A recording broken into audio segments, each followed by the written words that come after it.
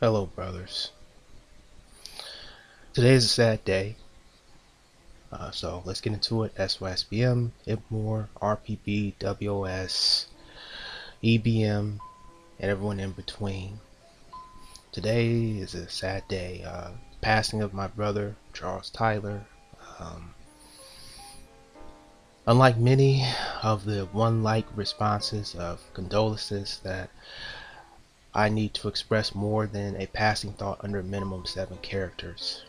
So, peering through the deluge of misandric feminism which is enthralled more virulently inside the enclosed cauldron of the inner city brick and mortar concrete jungles in which ebony men reside, at times I looked out the windows covered with bars soaked in corroded paint, chipped away through time, and beaten by the forces pummeled against it daily, and I wondered if I was keeping the voluminous criminal Myers and desires out of my home, or if I was being trapped in. A beacon of hope burned through like the bismuth embers and other ternary compounds that undergoes phase changes to the mental metals that were warped around my mind, constricting free thought to escape from something, something better, something right like Sisyphus pushing uphill for an eternity, a stone of prodigious weight while being pushed down by the dissenting limericks and legal jostlings of the many, i.e., the axes of evil, those dubious sacrosaints and licentious posturings of generational gynocracies responded with dismay and angst and concern that their men would dare venture out of the rotting, zombified communities in which they have profligated a pseudo Pax Romana for a piece of many of the ghetto dwellings as its nefarious underlord. They do so in order to earn hegemonic control over a collapsing state, which we call the ghetto.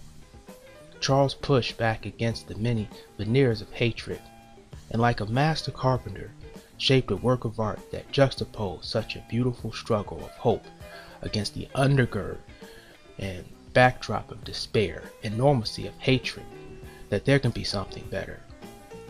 His trips to Brazil and his videos are zenith expressions that surpass the apex of dogmatic platitudes presented in the common fallacious talking points ad hominem shaming tactics used in present video form from black women and the numerous, and I mean numerous, media outlets in US and their allies.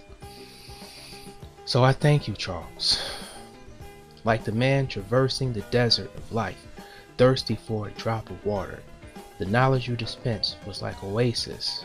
While many presented mirages, you presented truth. And we, the brothers, will not let you down. We will continue what you did. Rest in power, brother. That is all. Peace, brothers. Rest in peace, Charles.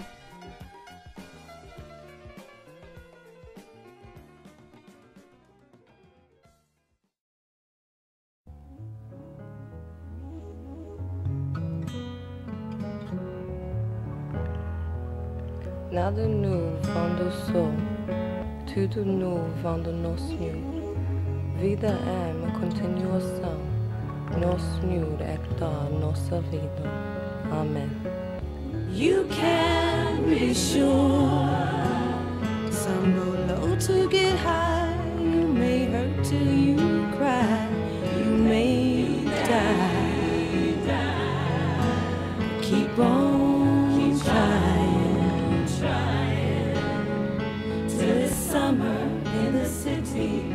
Till it's summer in the city.